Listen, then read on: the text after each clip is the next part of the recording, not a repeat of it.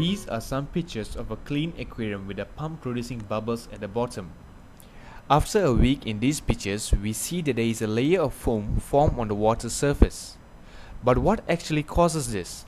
And what is the purpose of the foam? Let us take a look behind the theory of this foam formation. Here we have the aquarium again, but now we are only going to focus on a small region here. As the bubbles rises up the aquarium, it collects dissolved organic compounds such as proteins from the surrounding water.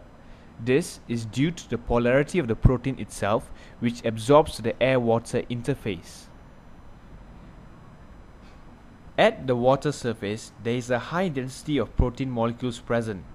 This is due to the large air-water interface which provides a large surface area for absorption to occur. As more foams are formed, the surface area for absorption of protein increases tremendously. In the formation of foam, three conditions must be met. Firstly, mechanical work such as agitation or as seen here due to the rising of the bubbles. Second is surfactants like the organic waste materials that help reduce the surface tension of the foam.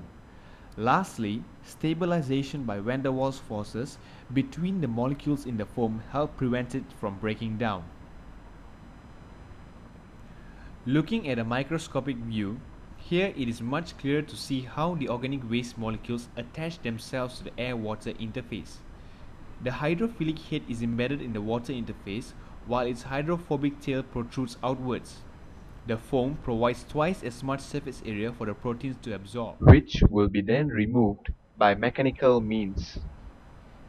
There are many applications of foam fractionation in industries today that helps the community around us.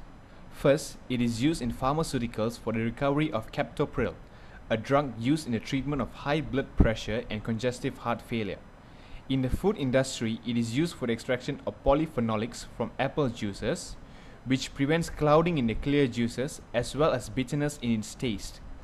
In wastewater treatment, foam fractionation is not only used to remove organic waste, but also heavy metal ions and bacterial cells. E. coli and Bacillus subtilis are a few to name off, which can cause food poisoning in humans if consumed.